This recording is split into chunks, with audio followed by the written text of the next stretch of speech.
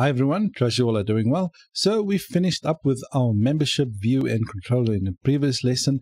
In this one, I said I'm going to create a payments route. But before I do that, I think I just, because I wanted to make quite an easy integration with Stripe, but I think I'm going to meet it out a little bit to give us a little bit more flexibility. So if later on you want to add trials to your membership, so before a user can actually uh, subscribe to the channel, they might want to run a trial or whatever the case may be, then you can easily do that. So I was thinking, let's do that. So uh, when a user, when you create a user, you actually create a Stripe customer.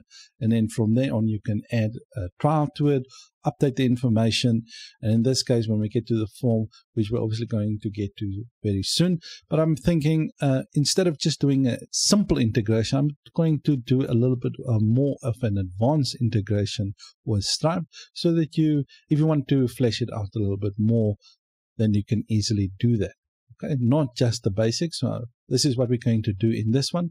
So Let's say we lock out is John right here. Now the thing is, if you, as you can see, if we register a user, you remember when we installed Laravel, Laravel Cashier, you will see we have a Stripe ID, a PM time, PM last, and a basically a trial NZ. Now the Stripe ID will basically, it's the customer ID that the user gonna create. All right, so what we're going to do in this case is if a user register, they're obviously going to be assigned a Stripe customer ID when they register so that we can be able to deal with these type of things. Right, the PM basically stands for payment method type and the other uh, payment uh, method last four basically is the last four digits of the card number and then trial NZ obviously if you want to add when the trial basically going to end. Right, so that's kind of the setup we're going to follow.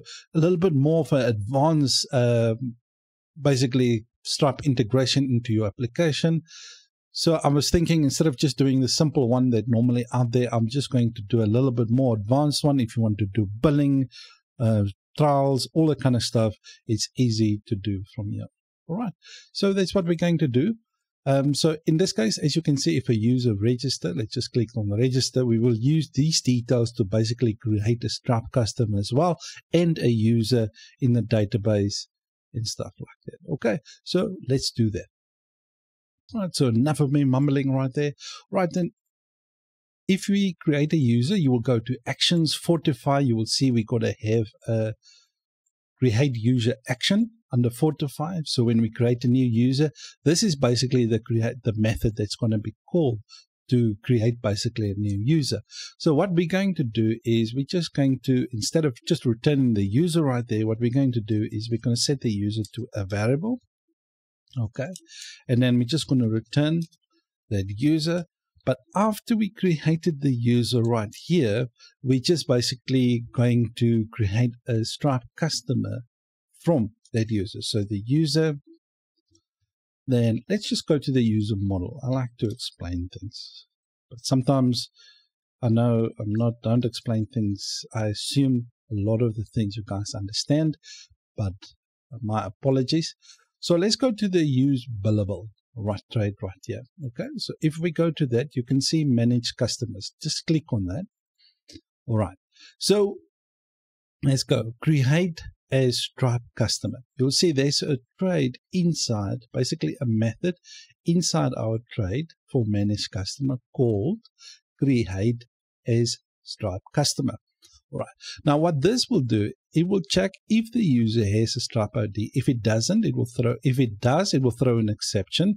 Customer already created. Okay, so it means that customer exists. So then it will check the name, email, phone, address, and all that kind of stuff. And it will basically create a Stripe customer with those details that you filled in. Okay. So if we go right here, they just copy this method right here, create Stripe customer. Okay. So let me just go to there again. So in your billable trait, manage customers, in your manage customer trait, you will see that create a Stripe customer method right there. We're just going to copy that and basically what we're going to do is we're going to basically create a Stripe customer from this user. All right. Because in that user variable, we've got the name and we've got the email. Okay. So and what is required here? The name, the email, phone, and address. Okay. But we can use another method with update the Stripe customer basically when they're actually going to fill in their details in the checkout. All right.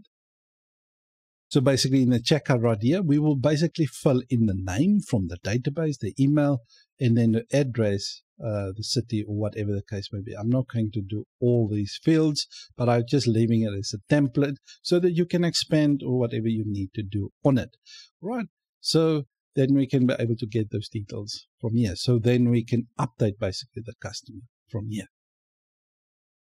I know that it's a little bit of a mouthful. All right, so we got our customer right there. We're going to fill in with the name and the email, and basically we're going to create a Stripe customer. So let's quickly save this and let's create a Stripe customer and see if we can actually create one. But before you can do that, uh, just make sure that you have your uh, Stripe key and your Stripe secret key in the developer tools. Just make sure you have those details right there. Otherwise, you're not going to be able to. Right, let's create a new user and we're going to call this one uh, main. A main, like main at email.com, password and password. Right, so if we press register right here, then we need to create that customer right? So we need to be redirected to the dashboard. Okay, let's see what happened. Let me try that again. Well, I'm just going to do Michelle, Michelle at example.com. Um, actually, just do an email.com, password, and password. All right, let's register.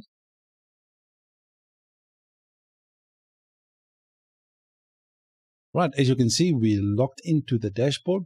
All right, so where you can see we got our dashboard right there with our all that kind of stuff. As you can see, we've got Michelle, the user, right here. So let's quickly go to the database and actually see if we got a Stripe ID of a customer. So let's go in here, database.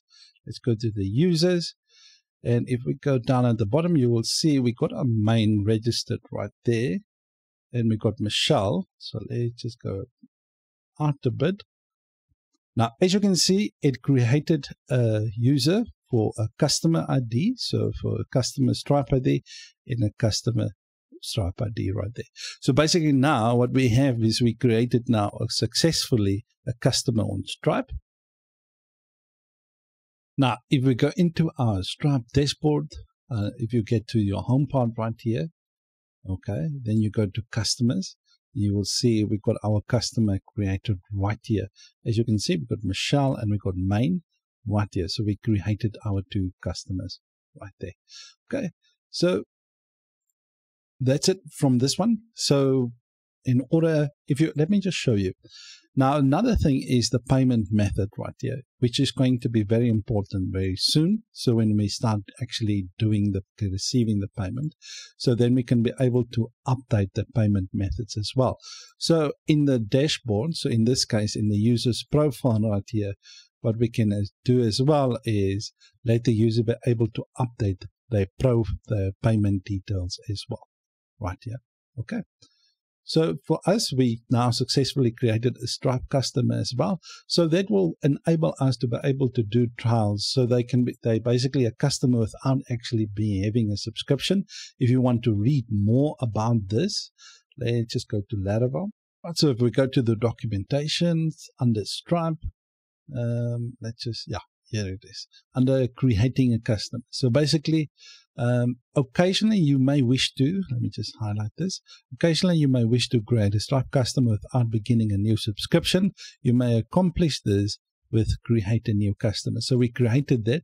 So after that, what we can do is, so once your customer has been created, you may begin a subscription at a later date. All right. So in this case, like if we want to do a trial, we can set it up in this manner so that we create a customer, then we add the where the trial must end and all that kind of stuff.